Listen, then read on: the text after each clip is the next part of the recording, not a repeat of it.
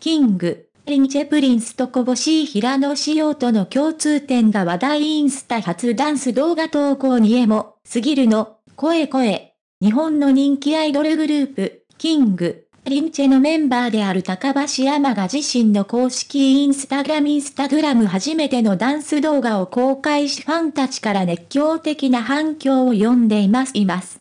この驚きの投稿が、平野仕様との共通点についての話題も巻き起こっています。今回の出来事について詳しく見ていきましょう。高橋山、インスタで初のダンス動画投稿。高橋山は2023年11月11日に個人のインスタグラムアカウントを開設し、その後、自身のダンススキルを披露する初のリエル投稿を行いました。この投稿では、長い付き合い、とのキャプションが添えられ、ダンサーのケイタオと共に、NLE、チョパエの、It's Getting Hot に合わせて見事なダンスパフォーマンスを披露しました。ファンたちはこの意外な一面に歓喜し、高橋山のダンスに対する愛情を表現しました。ケイタオとキング、リンチェの関係関係。特筆すべきは、ダンサーケイタがキング、リンチェの楽曲の振り付けも手掛けているという事実ですレッツ。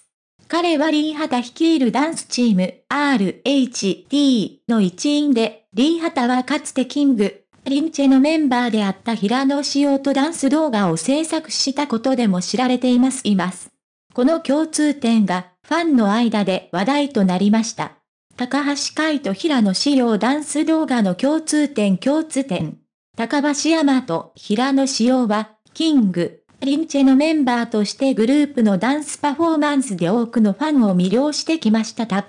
そのため、両者がダンス動画においても共通点を持つことは、ファンにとっては嬉しい驚きでした。今回のダンス動画を受けて、ファンからは、カイトくんのダンス大好き、インスタでもダンスが見れるなんて幸せすぎる、かっこよすぎる、これからもダンス待ってます、といった歓喜の声が多数寄せられました。特に、平野と高橋のダンス動画を撮影した動画クリエイターである手に抵抗のコメントが注目されています。彼は、この二人を撮れて嬉しい、と熱くコメントし、両者のパフォーマンススキルの高さを称賛しました。さらに、平野と高橋のダンス動画が同じ撮影者によって制作されていたことについて、次は紹介でも見たい、エモすぎる、同じ方が撮ってたんだ。いつかコラボしてほしいといったコメントも寄せられファンたちの期待が高まっています。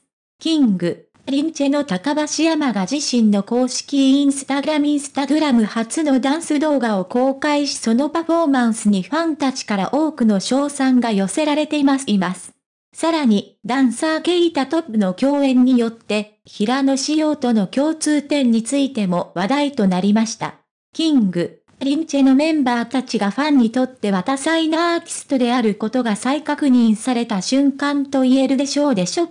今後、彼らのダンス動画やコラボレーションに対する期待が高まることは間違いありません。